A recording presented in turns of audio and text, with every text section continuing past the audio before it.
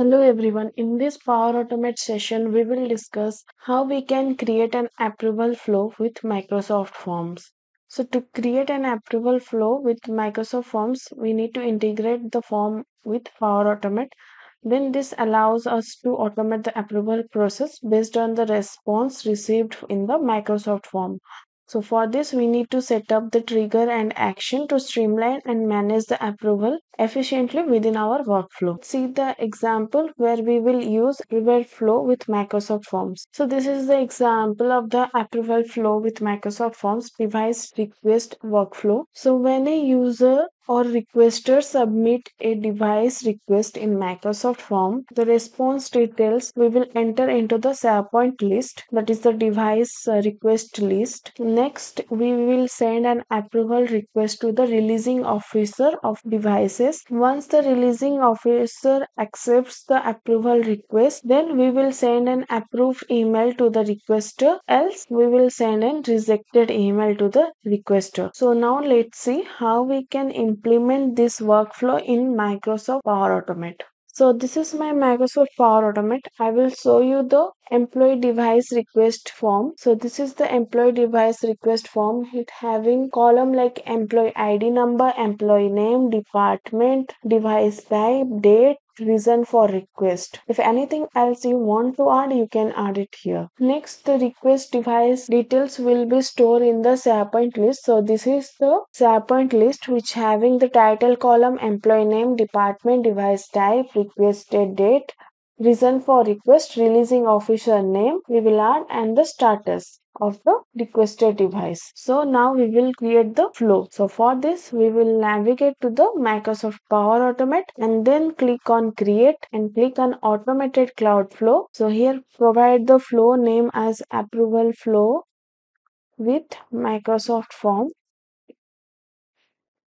Next, click on when a new response is submitted in the Microsoft form, then only the flow will trigger. So click on create button. Now I will switch to classic designer. So here I will provide the form ID that is employee device request form and I will get the response details. So for this I will add one action get response detail action search for get response details action. Here you can see the get response detail action.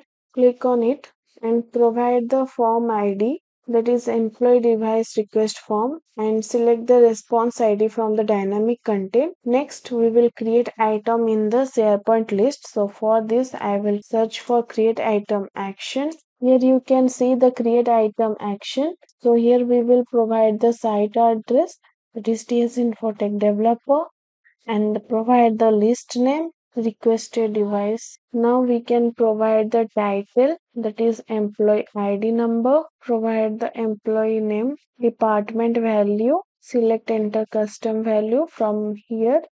We will select the department value, device type value, enter custom value. Here you can select the device type from dynamic content, requested date, you can search for date, reason for request, can select from the date and releasing officer claims will be Haripriya Dhal, let's say. Status value will be pending. Later we will update once the flow will process. So we will create the item. Now we will send an approval. So for this I will search for approval connector for an approval. Select this start and wait for an approval action. From here, select first to respond. Now provide the title. So here I will select device type requested by employee name assigned to I will provide the assigned to name as Haripriya Dhal. Select Haripriya Dhal. Also, you can provide the details and the item link. So here I will provide this much.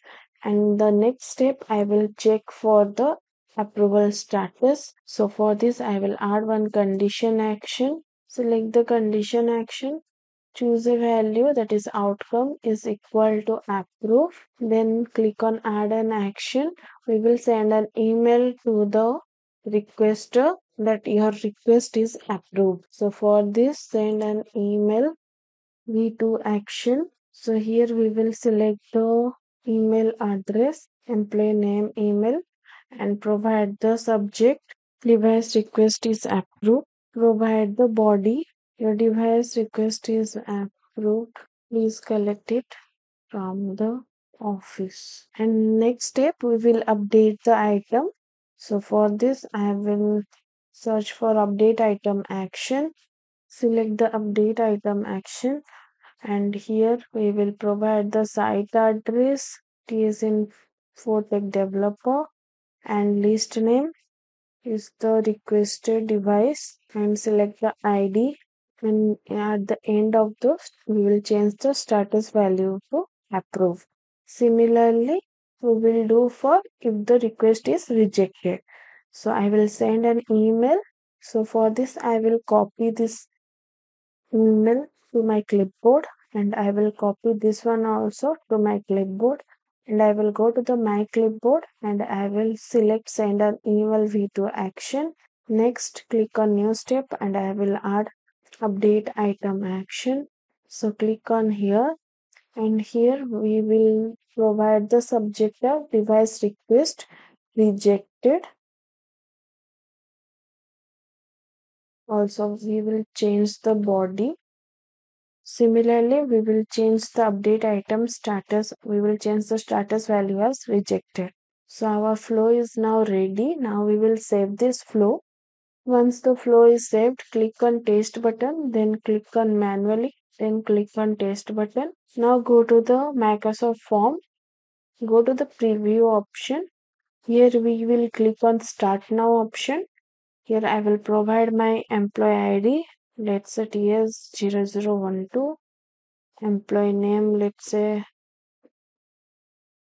Priya girl department let's say development. Device type is laptop.